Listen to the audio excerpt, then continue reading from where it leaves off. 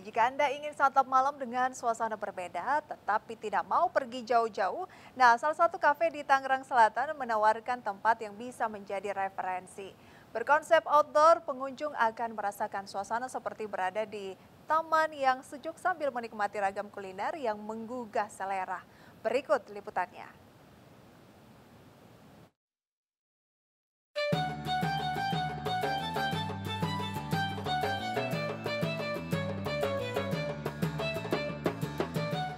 Barisan pohon jati Solomon langsung menyapa saya di kafe kebun latte.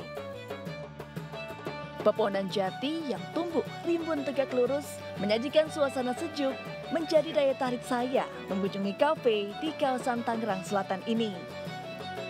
Sentuhan deretan lampu pijar yang menghiasi barisan pohon, mempercantik suasana dan membuat saya betah berlama-lama. Di sini, Pengunjung bisa memilih duduk di lokasi outdoor di antara pepohonan maupun di dalam ruangan bagi yang ingin suasana lebih tenang. Oke, keunikannya pasti uh, kita dalam membangun bisnis kita pasti ada brand value ya yang nggak dipunya sama tempat lain. Jadi di samping customer menikmatin kopi dan makanan di sini, di samping itu customer juga bisa rekreasi di sini gitu. Perbedaan kita eh, pada terletak pada tempatnya yang memang outdoor dan perhutanan yang tidak dibilikin sama tempat lain.